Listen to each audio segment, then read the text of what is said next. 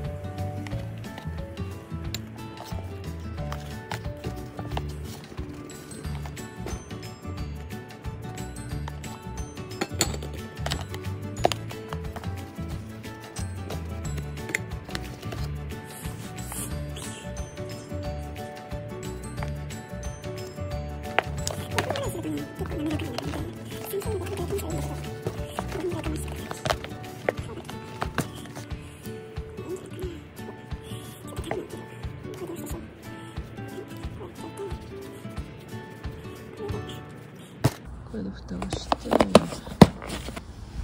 んな感じで。いいんじゃないでしょうか。冬は日向にやっとけばちょうどいいぐらいになると思うから。はいこれで日向に置いときます。こんな感じで。40分置きます。はい、えー、今ねクッキングシートをえー、ダチオーブンに引こうとしてるんですけどもこれあのキャプテンスタッフのねあのダッチオーブンでミニサイズなんですね。あの直径1 4センチしかないんですけども結構ねあの手軽にいろんな料理がねあのできるのですごいおすすめです。なんかダッチオーブンっていうとねなんか大掛かりな感じがしてなかなかあのキャンプ飯もねあの作るのどうかなっていう感じなんですけどこのミニサイズだとね結構お手軽に何でも作れちゃいます。直接お湯にはつけないけど湯気で。いけるんじゃない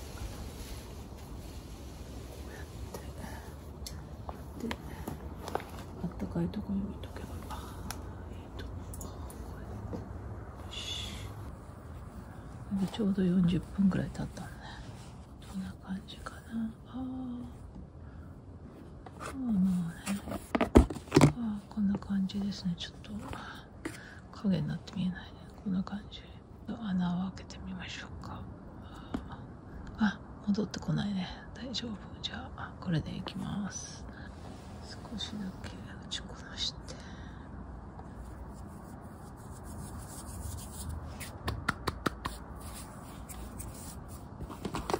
おいい感じですよ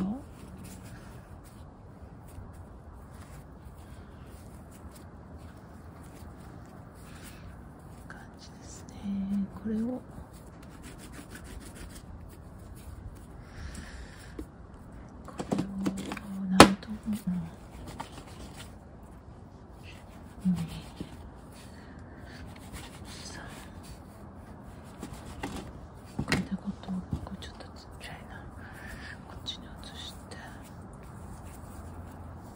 丸めていきますね。ちょっとちっちゃいかな。そして10分間。ベンチタイムこんな感じ。ちょっと大きいかな。まあいっか。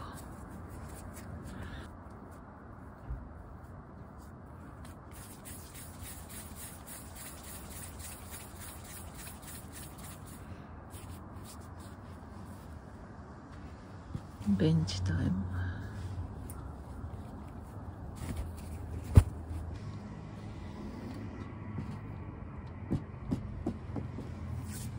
二次発酵もこれを使って今度はこのダッチオーブンの耳をねここにちょっとつける感じにしたいと思います。蓋もね温めておいた方がいいので先にお湯を入れてこの蓋をして蓋だけ温めておきます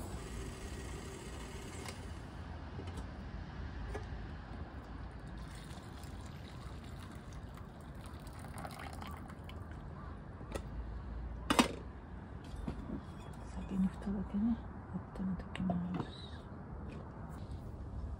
じゃあでもう一回丸め直します。こうプチって発酵してるからね。ああ気持ちいい。ちょうどいいぐらいになってる。もう一回包み直します。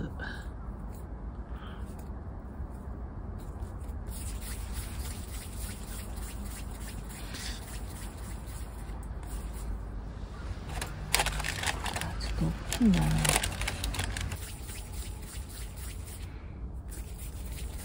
ちょっとちっちゃくてよかったね。なんか4つでいい感じ。4つでちょうどいい感じ。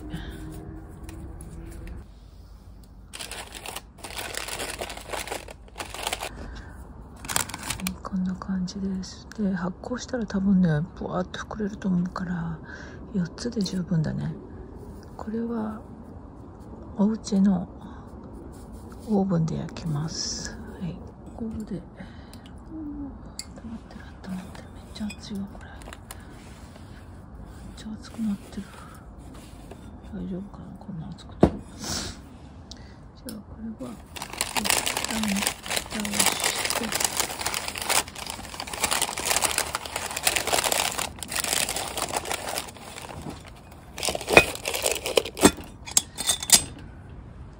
つか浸からない方がいいな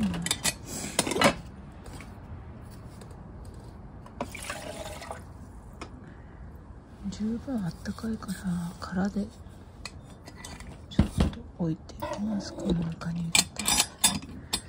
包んで日向に置いときます。40分。二次発酵です。まだちょっとしか時間経ってないんだけどどんな感じかね。ちょっとちらっと覗き見したいと思う。結構ねあったかい。旦温まるとね冷めないからいいよね。ダッチオーブンね。どんな感じ？うん。おいい感じに膨らんでる。ほら。いい感じに膨らんでる。4つですいいかね。少しだけね。少しだけお湯入れようちょっとだけ。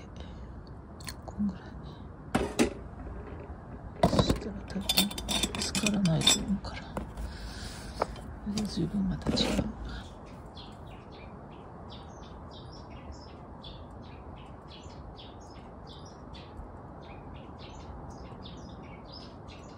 すごい鳥が鳴いてる。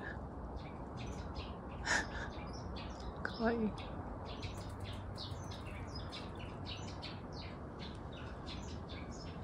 はあ楽しみだな現地でこんななくても前日にね仕込んでおけば冷蔵庫の中に入れといけば移動中にクーラーボックスなんか入れといてで現地で開けてあったかいところに放置しとけば一次発酵が済んじゃうのであとはね二次発酵さえちゃんとやれば多分うまくできると思います。こちらの残ったやつはね結構ね大きくなりましたね。こっちはどうだろう。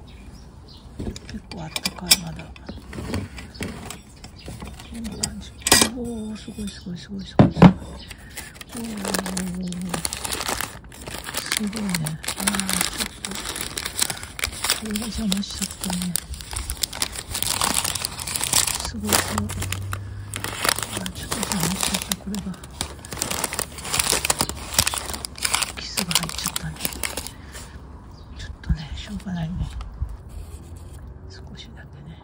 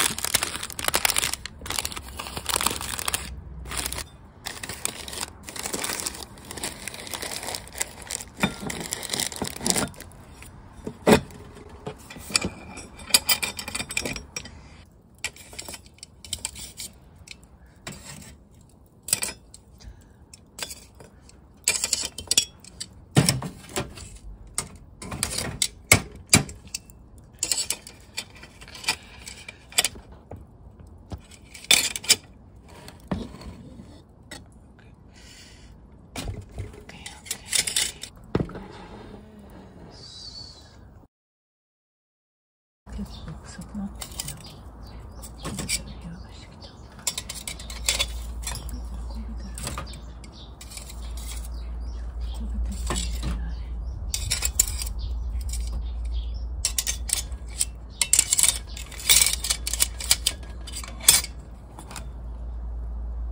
熱い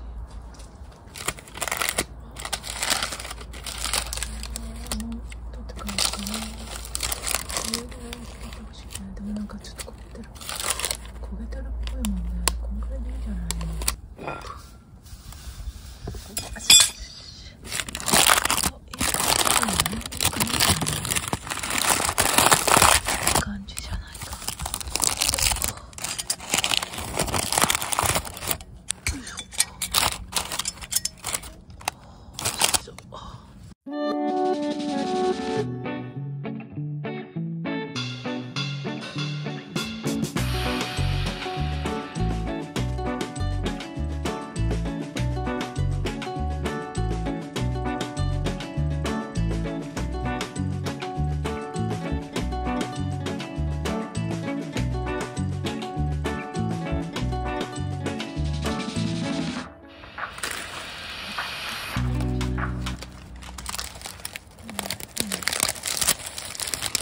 Mexendo.